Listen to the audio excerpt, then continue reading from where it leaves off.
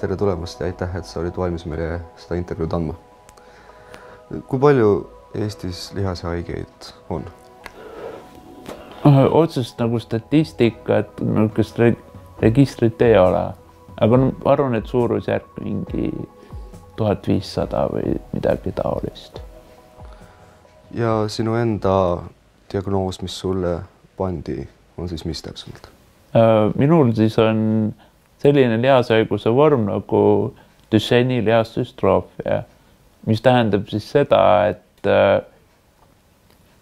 et keha ei tooda teatud ainet, mis aitab mul tea-, lihastoonust nagu hoida. mistõttu siis no põhimõtteliselt sünnist saadik on toimunud siis niisugune lihaste järjepidev nõrgenemine. et algul, kui ma olin mingi kolmene-neljane, siis siis oli lihtsalt see, et et ma ei suutnud nagu hüpata adekvaatselt või olin aeglasemalt liikuv. siis mingi ütleme mingi viiendas klassis hakkasin ratastooli kasutama, sest ma lihtsalt ei jõudnud enam kõndida. ja siis kaheksandas klassis õnnestus lõpuks endale elektriratastool saada, millega ma siis liigun siiani. Et siin ongi teatav nagu vastuolu, et kui minu jaoks tähendab põhimõtteliselt elektriratastool on tähendanud alati vabadust. sest ma saan teha oma liigutusi nii, et ma ei pea kartma kukkumist või midagi taolist. kui sõltuv oled sa olnud teistest inimestest, perekonnast, abistajatest, sõpradest? Põhimõtteliselt minu kogu aktiivsus sõltub teistest tegelikkuses. et, et ma väga palju ise teha ei saa. et arvutis saan toimetada ja siis elektriratastooliga saan mööda linna riik, ringi liikuda. ja no muidugi kirjutades ja sõnajõuga saab ka palju. aga ometi oled sa ühiskondlikult hästi aktiivne, sinu nägu figureerib meie meedias päris palju sest ma tean, et sa mängid elektriratastooli saalihokit ja sa oled yeah. käinud, käinud suisa Euroopas võistlustel, sa oled mm -hmm. reisinud ja sa oled ka aktiivselt kodanikuühiskonna liige. et äkki sa räägid enda kõige olulisematest tegemistest? no minu valdavad toimetused on ikkagi puudega inimeste vallas, et erinevates vabaühendustes, et see on minu kirg ja ja soov nagu toimetada, siis ma näen, et äh, seal ma saan nagu kõige rohkem nii-öelda teistele abiks olla. et mis, millest see koosneb, kindlasti üks minu suuri kirge on elektritratasturi saalihoki, mida ma olen harrastanud aastast kaks tuhat viis, kui sai kahe sõbraga Soomes käidud ja peale seda siis vastav MTÜ ja klubi nagu asutatud et minu jaoks on, see on selles suhtes hea klubi, sest nagu, sest seal tõepoolest saavad kõik löögile. et kui sa oled võimeline elektratustooli liigutama, siis sa oled ka meile platsile teretulnud, et see on hästi nagu positiivne. ja noh, teine asi, tähendab teine vabaühendus, kes mind on siis suunanud, ongi Eesti Lihasöökjate Selts, kus ma olen olnud siis kaheksandast eluaastast, kui vanemad selle ühenduse leidsid. sealt on väga paljud minu eeskujud ja rollimudelid, kelle järgi ma olen alati püüdnud siis oma elu sättida ja leida neid võimalusi, kuidas, kuidas mina saaksin neid samu õpetusi rakendada. et kindlasti on meie endi juhid äh, esimesed juhid Aivar Raudkivi ja, ja Jaak Vusa, need, kes on nagu andnud mulle selle ette nagu selle rollimudeli, kelle järgi ma proovin siis toimetada nii palju, kui ma vähegi suudan ja, ja minu võimuses on. et äh, see kõik, äh, arvestades sinu olukorda, see eeldab äh, hästi tugevat elu jaotavat hoiakut otse küsides, kas sul on mingi hetk käinud peast läbi, et enam ei, ei taha, ei jaksa, ei jõua? no nagu ma mainisin, kuna esiteks on mul see konditsioon olnud nagu lapsest saadik.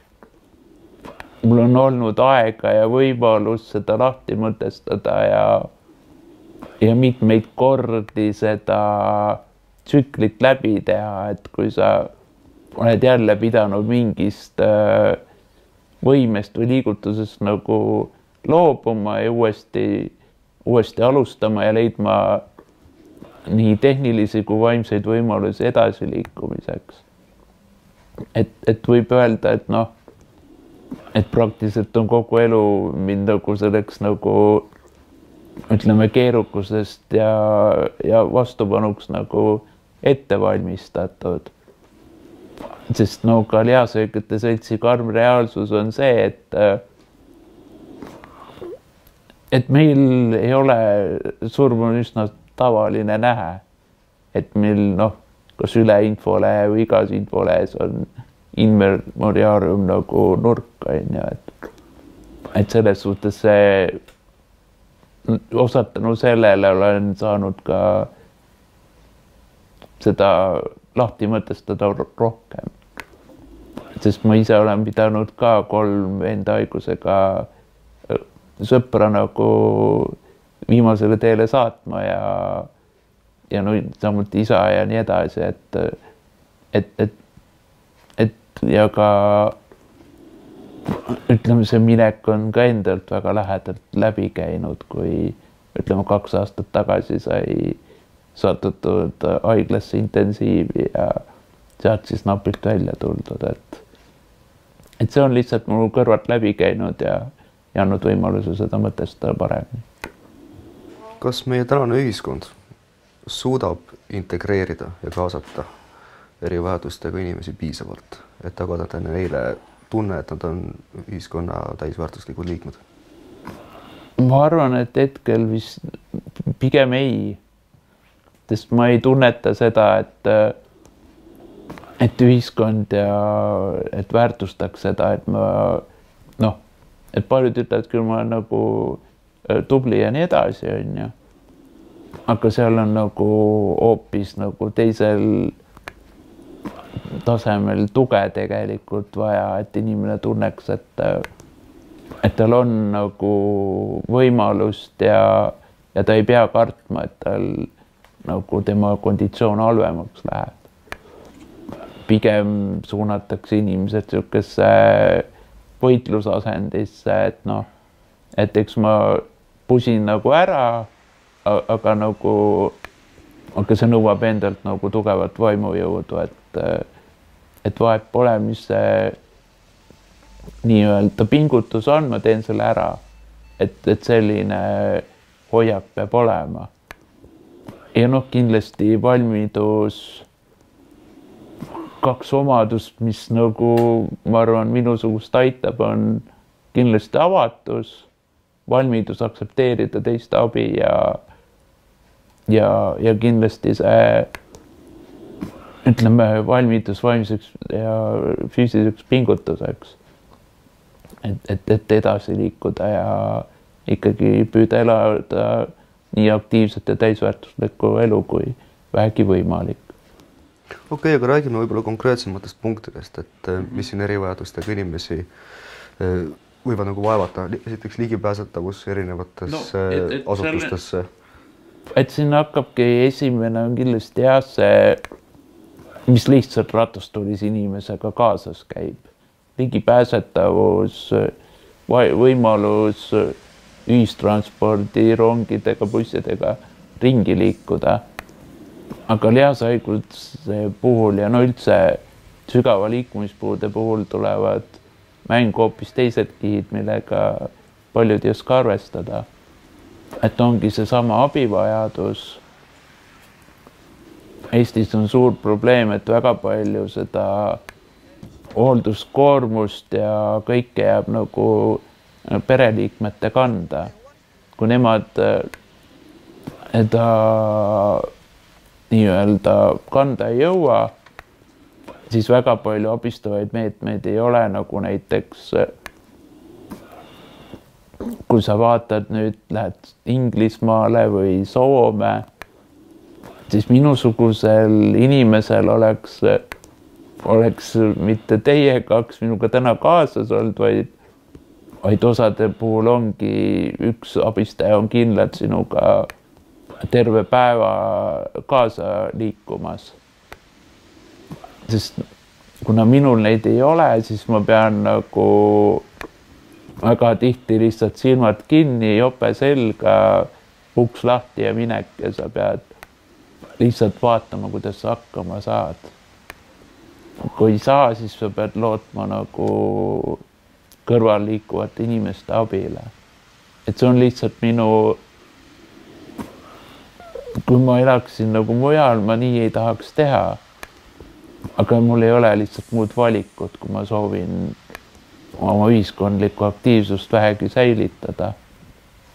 et, et see on kindlasti see üks probleemi koht, et ei ole ei koduhooldust ega adekvaatset niisugust isikliku abistaja teenust, mille puhul sa, no paljud meist ei, ei ole valmis hirmuga nii, abituse hirmuga nii hästi silmitsi seisma ja ma arvan, et nad, ega paljud ei peakski seda tegema.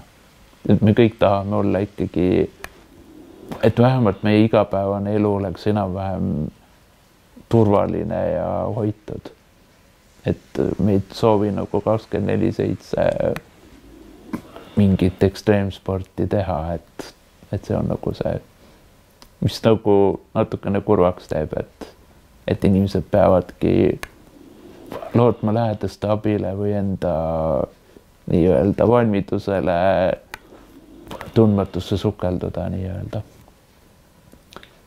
et, et see ja kindlasti mõnikord ka sihuke abivahendite teema, et et teie abivahendid ega teenused ei tule sinu juurde siis, kui sa neid vajad, vaid siis, kui sa oled võtnud end kätte ja need endale välja võidelnud, välja surunud.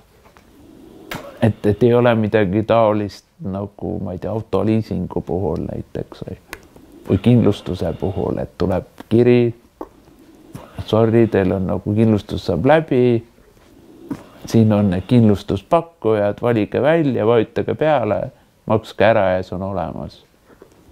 selle asemel sa pead kõiki nagu tähtaegu ikkagi püüdma meeles pidada ja ja ikkagi taotluse esitada ja kui sa seda ei tee, siis keegi sulle väga meelde ka seda ei tuleta, et, et sul on vaja midagi ära teha.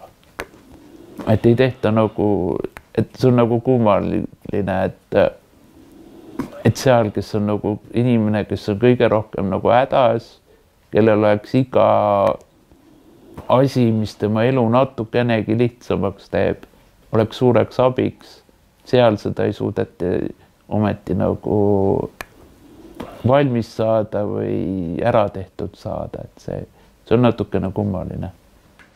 Kas te olete oma seltsiga juba pöördunud kellegi poole, et oma olukorda teadvustada, parendada? kelle poole üldse peaks pöörduma? eks me oleme oma vajadustest ikka nagu rääkinud ja, ja püüdnud neid nagu esile tõsta.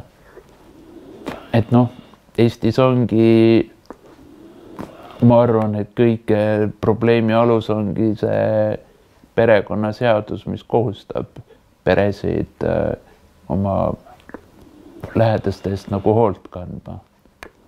et need, kes hoolivad, teevad seda ju niikuinii, on ju.